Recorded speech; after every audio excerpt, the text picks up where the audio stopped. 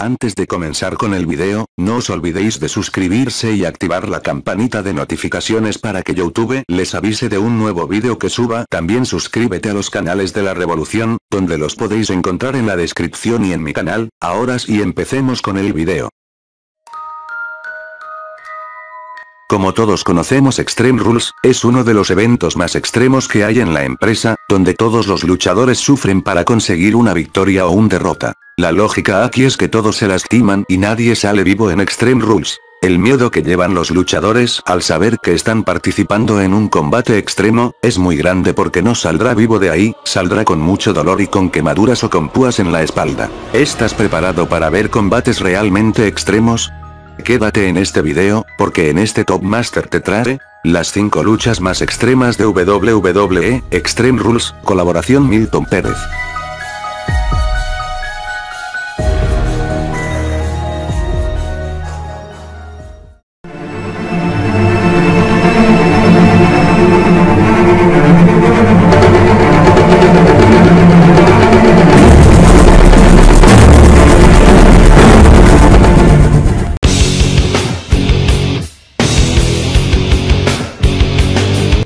Para empezar este combate, comienza bastante bien, con mucha acción entre los seis, donde cada uno demuestra el talento que lleva dentro de sí mismo, hubo mucha acción eso sí debo decir, porque la acción es crucial en un combate y en este combate lo han demostrado, especialmente Dean Ambrose y Seth Rollins, donde se lucieron con sus espectaculares movidas tanto para Randy Orton como Triple H y Batista.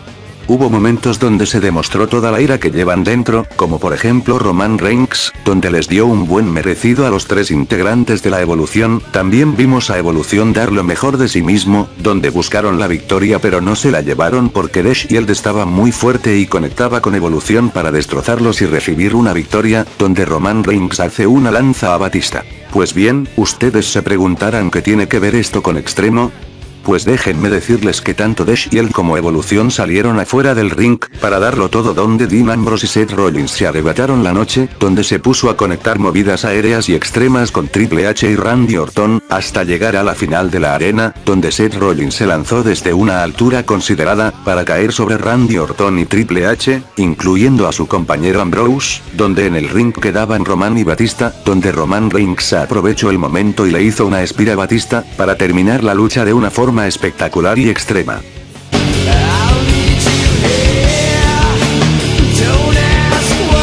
Muy buenas a todos mi gente, soy Tanque y estoy en el canal de mi amigo Master WWE para hablarles del siguiente puesto de lucha entre John Cena y Brock Lesnar en Extreme Rules de 2012.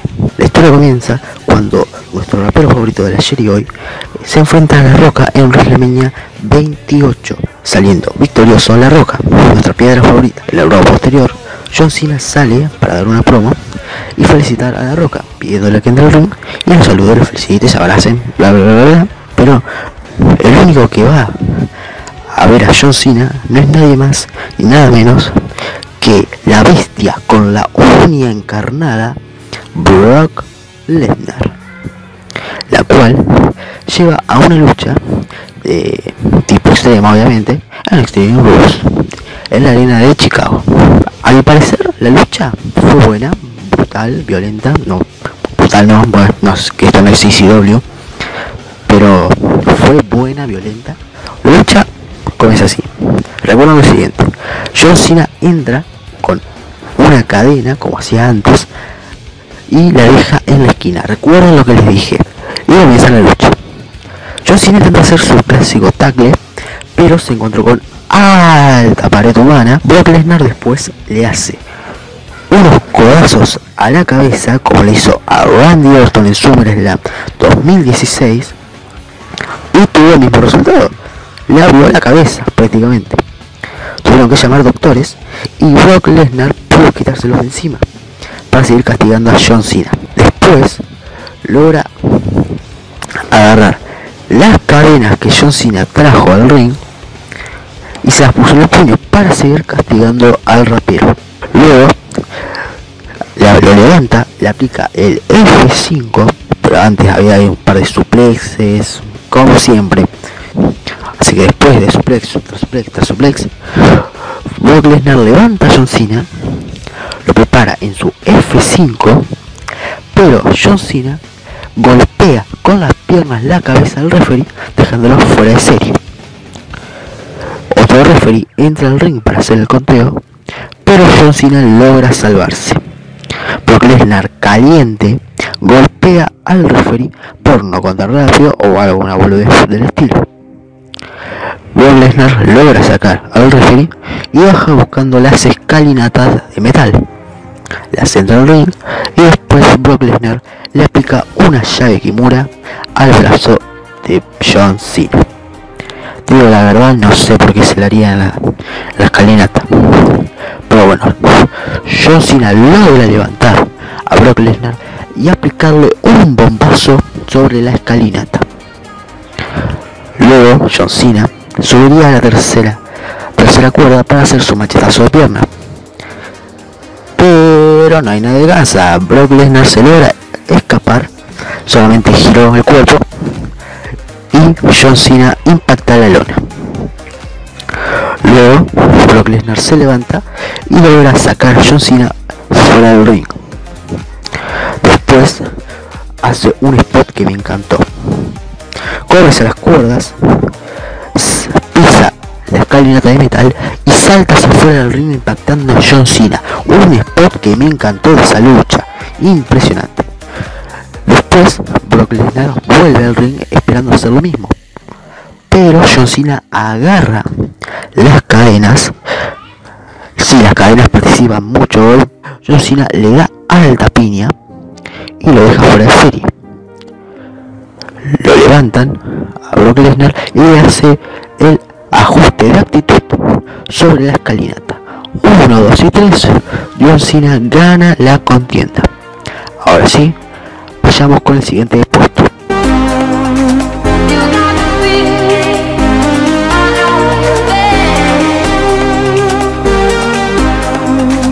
La rivalidad comienza de una manera un poco agresiva, ya que tanto Cien Pan como Chris Jericho querían saber quién es el mejor en el mundo. En Raw del 2012, se dieron con todo rumbo a Extreme Rules. Llegó el evento, y la contienda comienza con golpes en la parte de arriba continuamente, donde Cien Punk empieza a pegarle a Chris Jericho con artefactos extremos, donde Chris Jericho toma la delantera después de darle un pequeño regalo en los ojos de Cien Punk, para así darle con toda la furia que lleva Jericho. Después una mujer le pega a Chris Jericho donde Jericho tenía intenciones de pegarla, pero Cien Punk le pegó a Jericho de una forma que parece graciosa. Todo lo demás fue lo mismo, movimientos aéreos, de todo un poco se dieron entre los dos, donde hay una parte donde Cien Punk saca un extintor y le echa el químico en la cara de Jericho, donde este le siguió dando a Jericho para desgastarlo, donde Cien Punk se lanza desde el ring hasta la mesa de comentarista donde está Jericho para impactarlo. La victoria se la lleva Cien Pan después del impacto de Jericho en unas de las esquinas donde Cien Pan le realizó su finisher, donde él se lleva la victoria.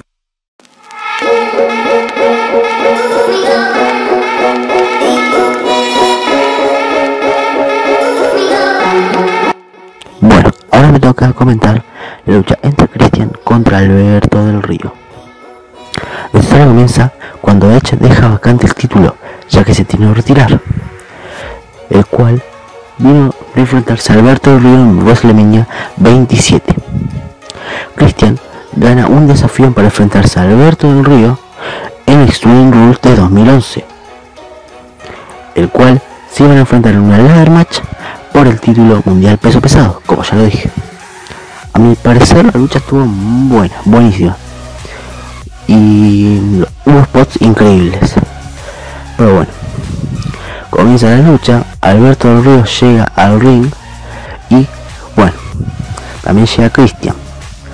Después de caminar un rato, presentarse, la la la la, comienza la lucha.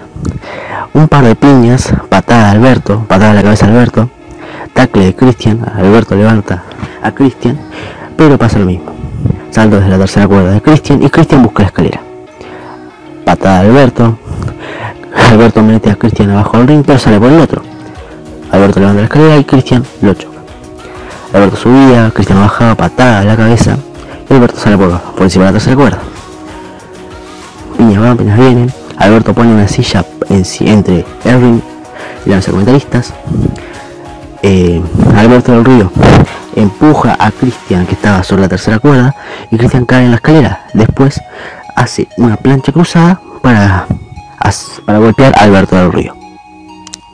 Sube Cristian a la tercera cuerda y Alberto lo baja. Y usan una escalera para impactar la cara de Cristian. Después intenta hacer una llave al brazo, Cristian lo esquiva, intenta hacer su, remate, pero Alberto lo esquiva intentaba no sé, no sé qué y Christian hace que Alberto impacte contra una escalera que estaba en la esquina. Alberto eh, sale afuera, Christian intentaba subir, pero Alberto no lo dejaba. Alberto usa la escalera chica y golpea en el pecho de Christian. Lanza a Christian en la, esquina donde había una escalera e intentaba golpear con la escalera chica, pero Christian lo esquiva. Después, Christian usa una huracán para hacer que Alberto intente hacer que Alberto caiga sobre la escalera. Sube, sube y llega Edge con una furgoneta, una Jeep y Alberto se distrae. Christian lo baja, haciendo que caiga sobre Brutus Clay y el manager que no me acuerdo el nombre. Y Christian sube por, por la escalera. Sube, Edge lo mira, lo alienta y Cristian baja el título. Nuevo campeón mundial peso pesado. En una hermosa imagen tenemos nuevo campeón mundial. Esta lucha fue violenta no solo por el corte que tuvo Bruce Clay, sino también por las consecuencias que le jodió Christian y Alberto. Por eso merece su lugar en este top.